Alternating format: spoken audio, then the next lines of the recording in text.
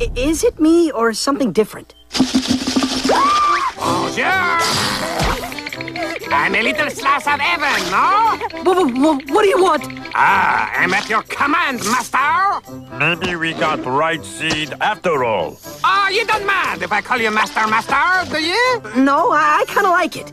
And I'll call you Gigi. You're gonna be my new evil pet. Ooh, I'm a very, very lucky plant, don't you know? And a very, very evil plant, too. Yes, I am what you say, a naughty plant.